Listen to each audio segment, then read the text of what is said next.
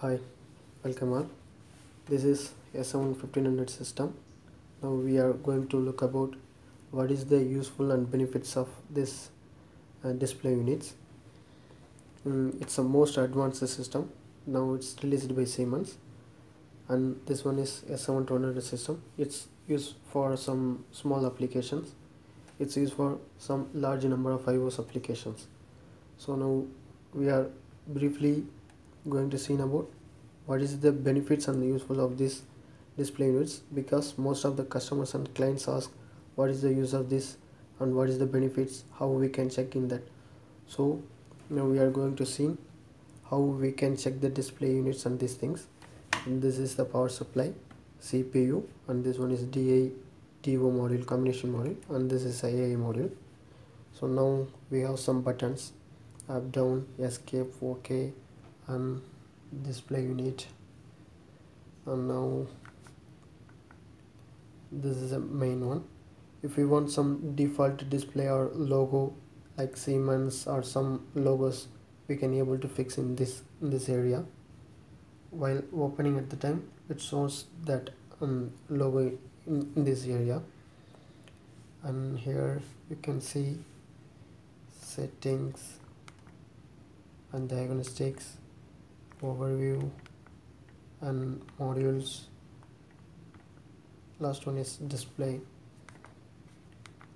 Overview in the sense the total overview of memory and these things what are the modules are connected with this? These things are available in this overview. And the next one is diagnostics. In case of any error in this module or in the CPU some memory errors it shows what are the errors is present. For example you just enter in that. Using alarm diagnostic buffers watch tables and cyclic time these things are available. You just enter inside and you can see what are the alarms and uh, diagnostic status are available. Now there is no alarms are active so it didn't show diagnostic buffers it's loading the data see um, it shows some diagnostic things communication initiator and these things are present. In case of any error that also will um, display in this. Next one is settings. Settings you just enter in that. It has some addresses. So now by this using of display we can enter the IP address directly to the device. No needs external software and these things. Now we are date and time also we can able to set in that and run stop. Run stop display also available. Next thing is some dip switches are also available. We can able to run and stop the PLC by either this dip switch or this display. Now you see I just enter into run stop it's asking if you want to stop the PLC just click OK. If I click the PLC is in stop mode. Again I just enter inside. Just click OK. It's running now. Then reset. If you if any error in this PLC don't need to connect the laptop or some other system. No need software. Directly we can reset it from here. And the same time the dip switch also available. Memory reset.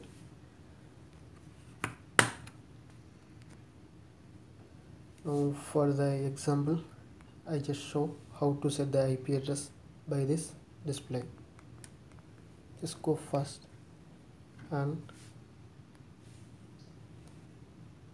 click ok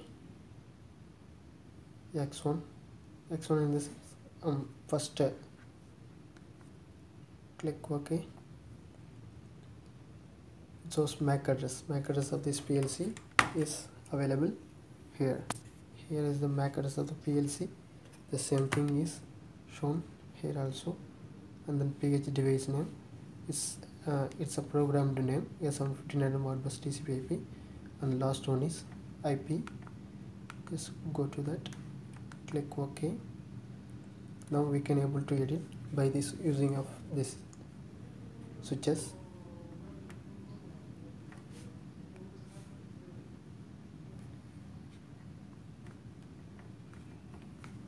This is a subnet mask. Click ok. Now you can able to edit it like this and after that just click apply. It should be applied. And okay. Next thing is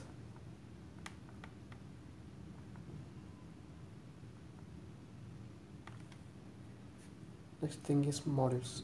Just click ok what are the modules are connected to the CPU it sounds local modules click ok.